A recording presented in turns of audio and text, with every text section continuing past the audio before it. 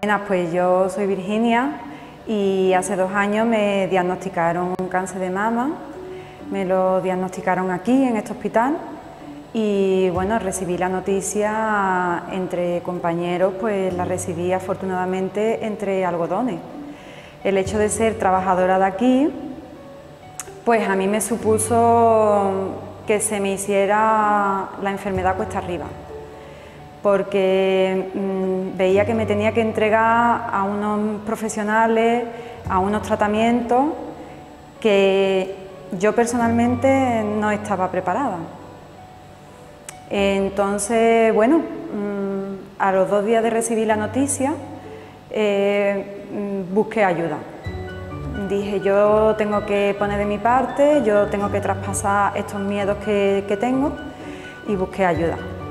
Entonces me hablaron de una asociación que se llama Proyecto Mariposa. para mí ha supuesto el llevar la enfermedad con la mejor calidad de vida posible, porque mm, en mi caso personal, afortunadamente, nadie de mi familia ni nadie de mis amigos cercanos han tenido alguna relación con algún tipo de cáncer. Entonces, ellos te quieren, ellos te saben arropar a su manera pero yo necesitaba otras cosas. Yo necesitaba el, sentirme entendida, el sentirme escuchada y el, que, el expresar mis miedos. Eh, el primer paso fue quitarme la bata blanca y entregarme a lo que me estaba sucediendo. Y, y, eso fue un trabajo de Proyecto Mariposa.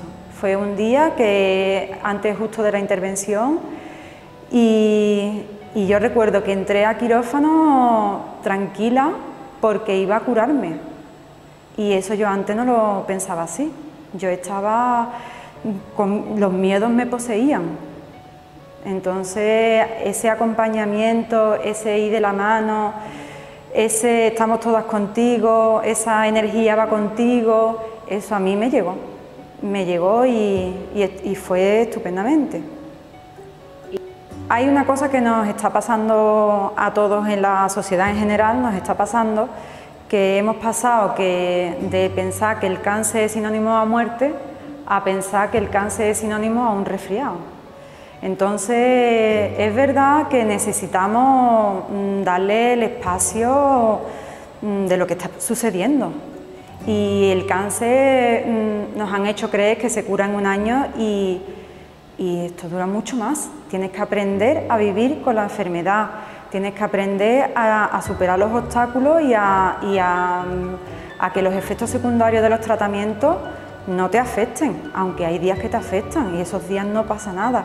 Y eso te lo enseña pues gente que ha pasado por lo mismo que tú. Esa conexión la entiende la gente que ha pasado por lo mismo que tú. y cuando yo voy a mis revisiones, y digo en el grupo todo está bien, mm, tengo necesidad de compartirlo con ellas porque ellas saben lo que yo siento en la puerta de, un especialista que no sé qué va a pasar o qué no va a pasar. Mm, al final eh, tus amigos o tus seres queridos empiezan a normalizar porque es lo que nos han enseñado. Pero a la pregunta de qué necesita una paciente con cáncer, la primera respuesta es necesita que la escuchen y a partir de ahí avanzamos.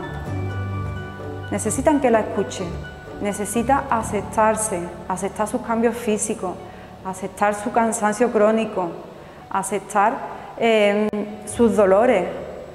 Necesita y, las personas externas o que no han pasado por una enfermedad, eh, su manera de animarte a lo mejor es decirte, bueno, yo también estoy cansada y tú dices, bueno, al final no lo expresas, te lo callas y sientes como un pequeño aislamiento entre la gente que te quiere.